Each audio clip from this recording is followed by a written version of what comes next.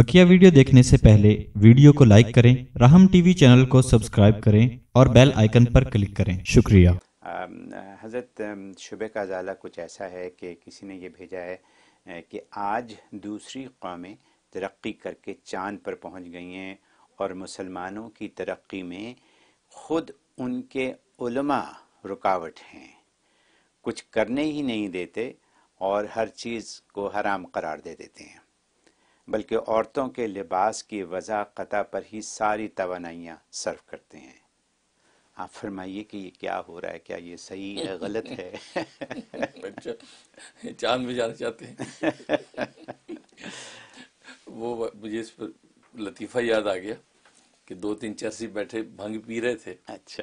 तो एक साहब गुजरे कहा कि ओ नलैको तुसी इतने बैठे भंग पी रहे हो दुनिया चांदते चली गई। है? अच्छा। तो एक जो है वो चरसी बोला चाचा जी जरा ठहरो थोड़ी देर असी पी के उत्थे चले हैं। चले तो बात वही है।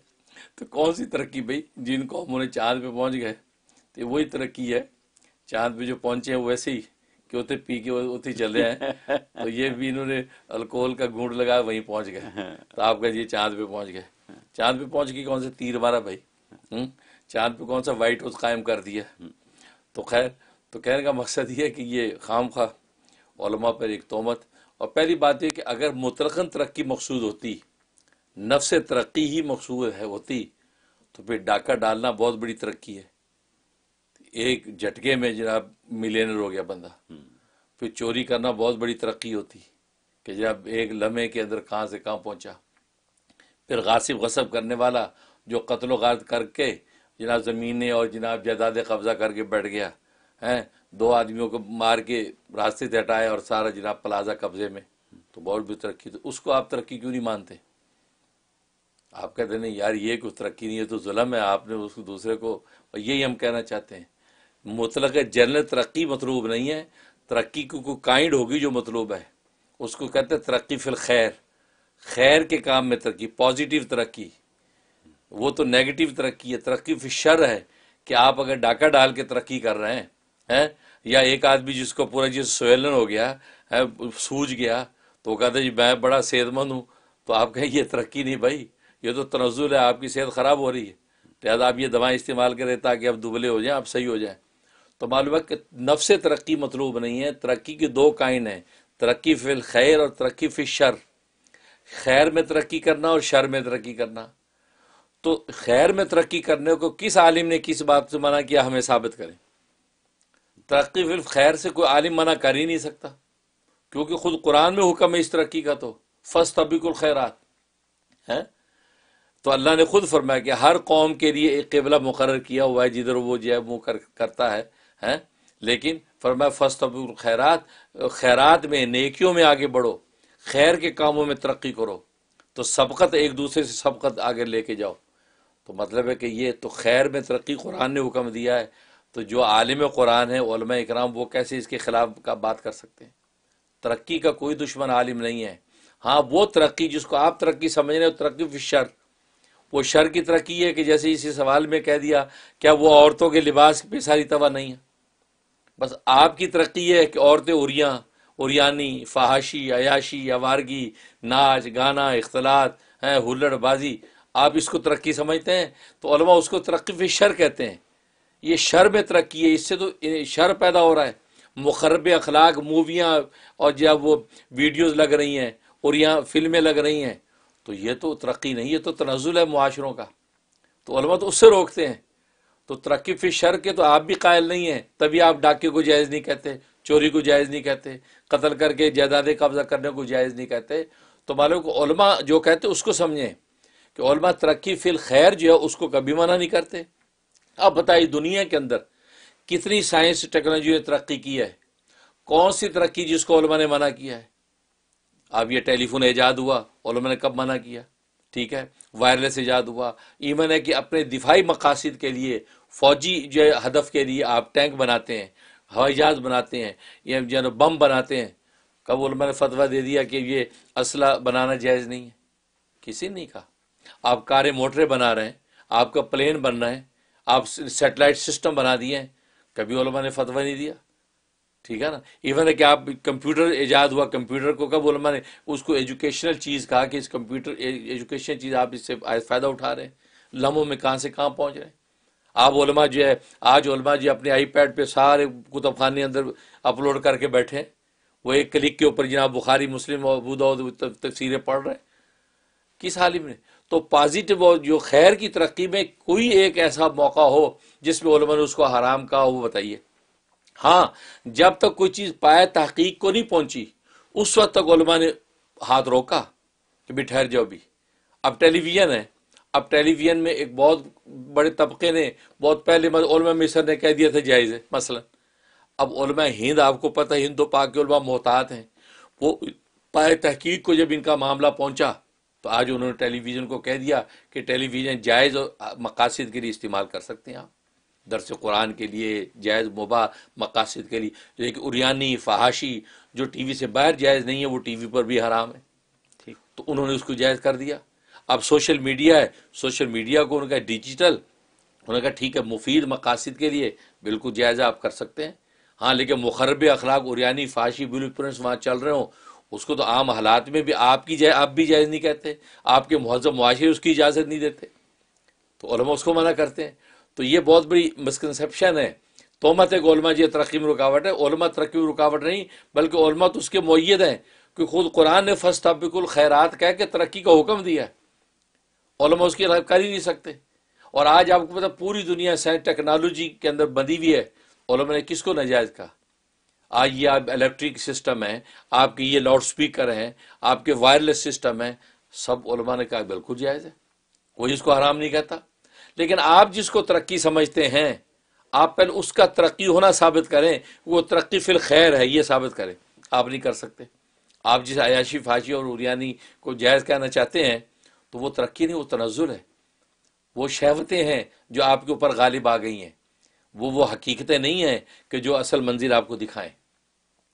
अब आप कहते हैं कि लिबास के ऊपर, अगर बेलिबासी तरक्की है है, अब वेस्टर्न वर्ल्ड की बेलिबासी औरतों की, ये अगर तरक्की है तो फिर तो अफ्रीका की औरतें सबसे ज़्यादा तरक्की करनी चाहिए, जिनके ऊपर इतना लिबास भी नहीं होता, जितना आज वेस्टर्न वर्ल्ड की औरत के ऊपर होता है।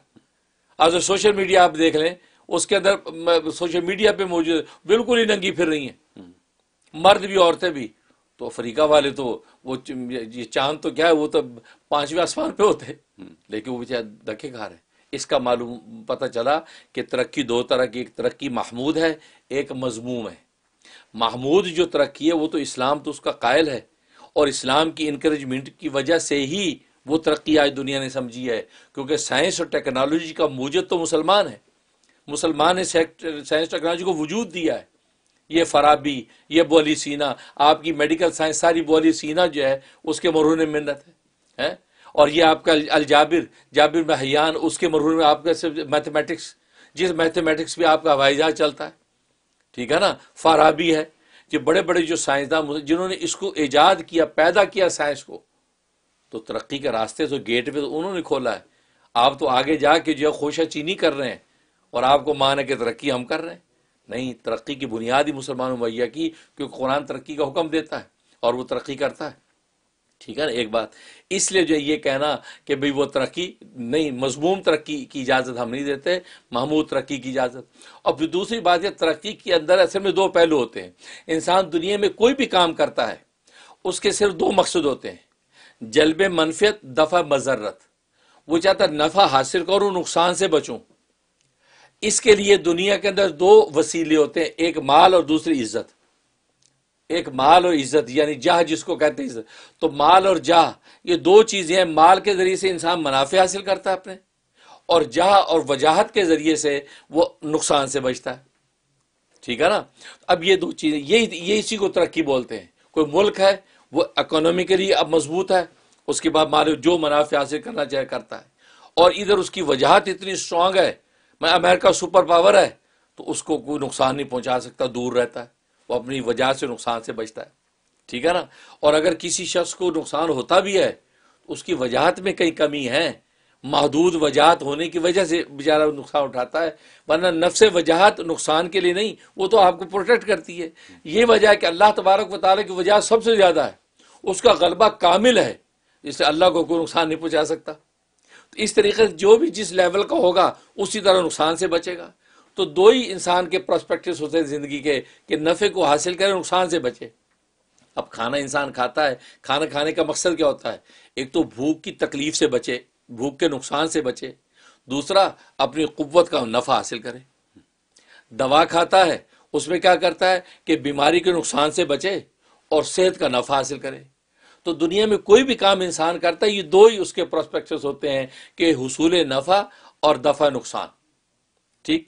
अब इस कसौटी के ऊपर आप अपनी किसी भी तरक्की को देख लें कि कौन सी तरक्की किस लेवल पर है, इससे नफ़ा कितना हासिल हो रहा है, नुकसान कितना हो रहा है?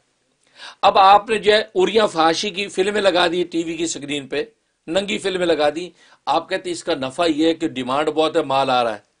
लेकिन आप उसके नुकसान को देखे इतना कि जहाँ नई नस्ल तबाह हो रही मुखरब अखलाक चीज़ों की वजह से नई नस्ल, जो तरक्की के मेन जो रास्ते उसके सारे मसदूद हो गए, वो इसी अयाशी फाशी में गुजर गई।